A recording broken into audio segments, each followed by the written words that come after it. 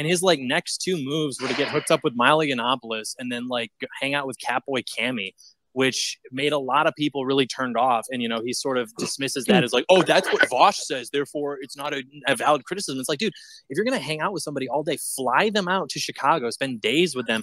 This is a person who does like incredibly degenerate sexual things Yeah, on stream. flew Like, out from Australia to get a You're green like traditional card Catholic. marriage. He was there to literally marry a woman to get American citizenship.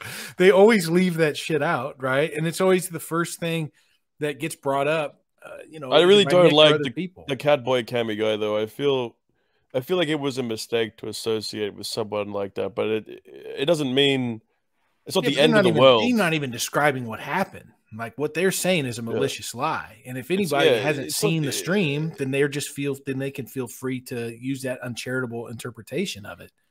I think it's a I think it's a good lesson though, perhaps in um like when people do weird degenerate shit, like you know, even if you know your motives are con- like yeah, but also cool. Zoomer humor, right? That's something that like I've and Bookcat are trying to get over too. I, I, Like, I'm Zoomers like, I'm an, just I'm an Australian, okay, and uh, I mean I guess so is he, the faggot. But like we like for me, I just have this kind of like no poofters policy. Like anyone who does any gay shit, just just stay the fuck away from me. I don't want anything to do with it.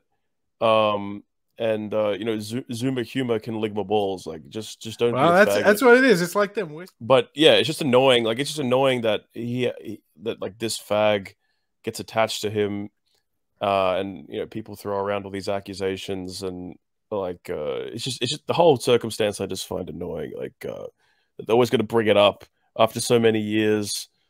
Um, but you know it, it is what it is. But but the yeah, fuck these guys anyway. Like the thing is, is that uh, Says he's running. it's not really president. relevant to like polit like the thing is these guys were just going on before about how like they want to work with based gays so you can't like be like oh we're gonna work with based like gays against grooming and gays against groomers and we're gonna did they even mention once now now all of a sudden they got this huge problem with fags it's like